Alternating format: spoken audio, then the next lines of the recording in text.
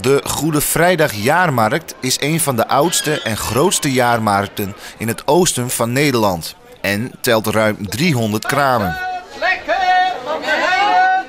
Deze staan opgesteld in de Keizerstraat, de Brink en de Zandpoort.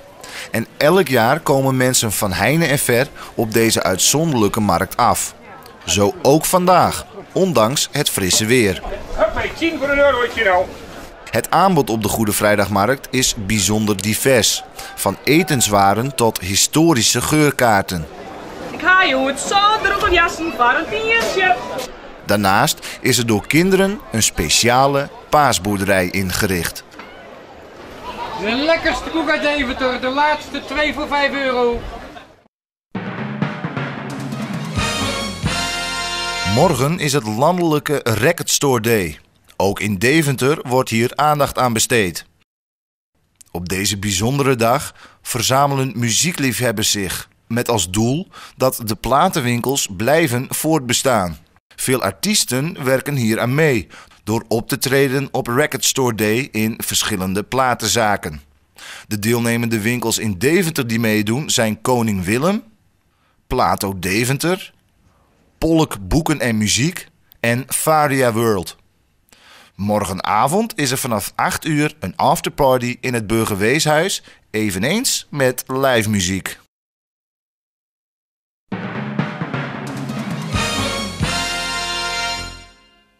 Zoals ieder jaar is er ook dit jaar weer een paaskermis. De kermis duurt nog tot tweede paasdag, dat is maandag 21 april. Wat de kermis dit jaar extra uniek maakt, is dat er een heuse kermis is.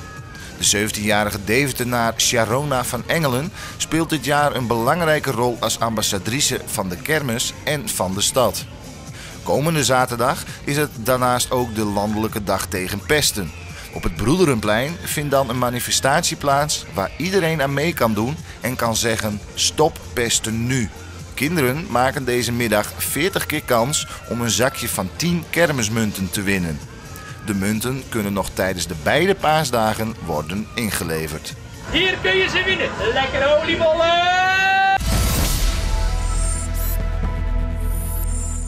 356, 911, 964, Targa en Carrera.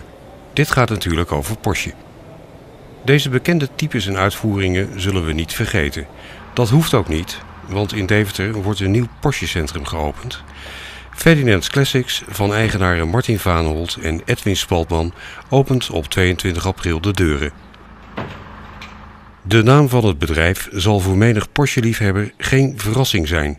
Uh, de naam, uh, ja, voor mij is het logisch. Uh, Ferdinand, ja, je ziet hem hier hangen in de showroom. Ferdinand Porsche, de oprichter van, van het Porsche-concern. Ferdinand's Classics wil meer zijn dan een showroom met mooie auto's. Het begeleiden van, van restauratieprojecten van A tot Z. Dus iets komt van nou, tot bijna van gaan binnen totdat er weer bijna een compleet nieuwe auto staat. En het doen van aankoopprojecten. Dus een klant zoekt een eh, bepaalde auto en wij gaan voor hem op zoek. De doelstelling is om zoveel mogelijk mooie Porsches, klassieke Porsches, hoofdzakelijk van voor 73, op de weg te krijgen en aan het rijden te houden. En daar uiteraard proberen nog wat geld mee te verdienen.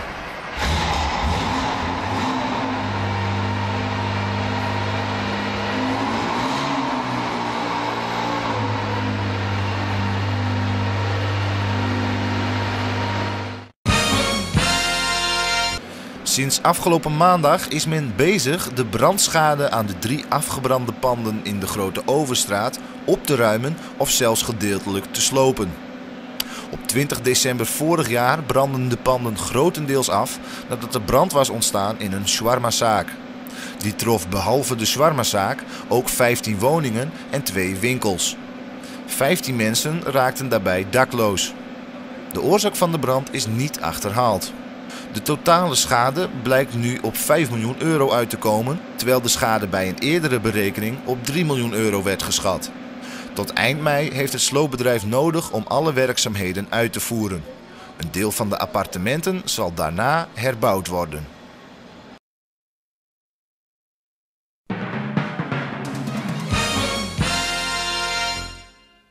De aannemerscombinatie IJsselfront heeft de werkzaamheden bij de Worp hervat.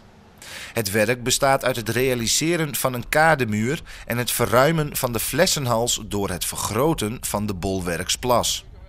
De werkzaamheden aan de kademuur zijn in 2013 gestaakt nadat er een onverwachte en complexe bodemverontreiniging werd aangetroffen. Bovendien is het gebied nog verdacht van niet gesprongen explosieven. Vanaf begin juni worden de werkzaamheden aan de kademuur hervat. Dan wordt het resterende deel voor het IJsselhotel langs afgemaakt. Gedurende de realisatie van de kademuur blijft het pontje in gebruik.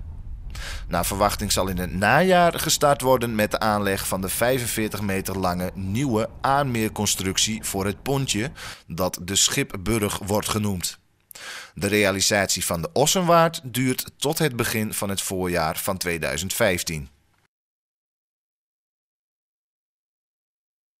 Meer DRTV? Volg ons via YouTube, Facebook en Twitter.